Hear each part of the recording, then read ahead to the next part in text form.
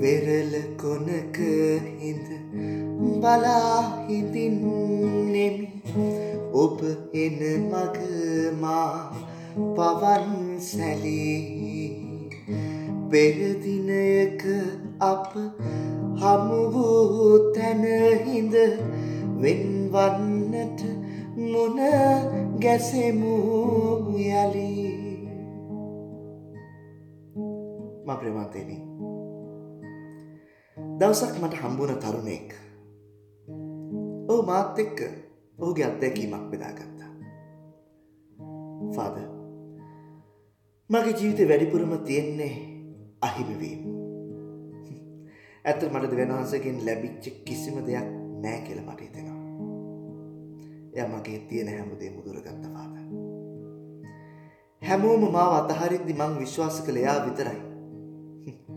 එත වහන්ස විශ්වාස කරන්න එයත් මවදාලා ගියා. එයට මට කිසිම දෙයක් දෙන්න බෑ කියලා මට හිතුණා. එහින්ද මන් තීරණය කෙරුවා අපේ සම්බන්ධ නවත්තන්න මන් දෙවියන්න අතහරෙන්න හිතුව පාද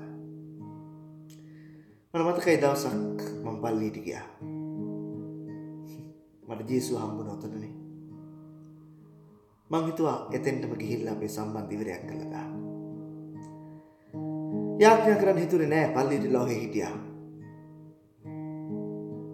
හමු වුණු තැනම වෙන් වෙන්න යන්නේ. වෙරළ කොනක හිඳ බලා හිඳින්නෙමි ඔබ එන මගමා පවන් සැලී පෙරදිනයක අප හමුවූ තැනහිඳ වෙන්වන්නට මොන කැසෙමු යලී. ඔය විදිහට මම පල්ලිට වෙලා ඉද්දී මම දැක්කා පුද්ගලෙක් දෙවස්ථානයට ඇතුළුණා කකුල් දෙකක් නැති පුද්ගලෙක් බඩගාගෙන බඩගාගෙන පල්ලි ඉස්සරහටම ගියා ජේසුගේ සුරුවම ගාවට එතෙට ගිහිල්ලා. ඔරුසන් කියලා ඔහු වටපිට බලනවා. ඔහු මාව දැකලා අත වෙනවා.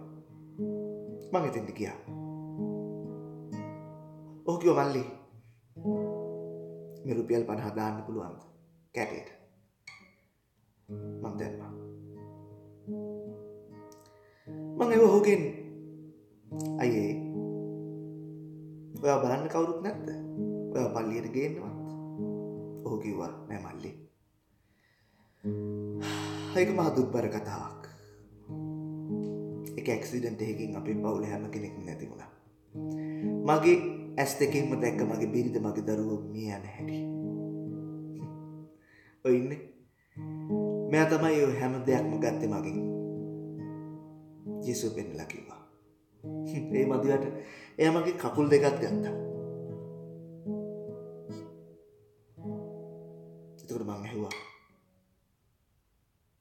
ඉතින් එහෙනම් ඔයා තාමත් ඇයි එයාට උච්චර ආදරේ? ඔව් කිව්වා. මල්ලි. දෙනවහන්සේ අපෙන් ගන්න හැම දෙයක්ම උන්වහන්සේ පරිස්සම් කරලා අරන් තියා ගන්නවා. අපේ වටින කියන හැමදේම උන්වහන්සේ අරගෙන ඒ හැමදේම උන්වහන්සේ ගාව තියා ගන්නවා.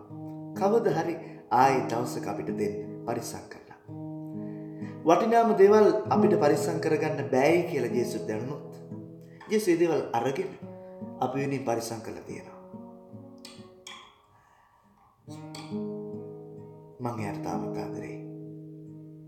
මොකද මම විශ්වාස කරනවා මට නැති වුණ දේ කවදා හරි ආයි දෙයි කියලා.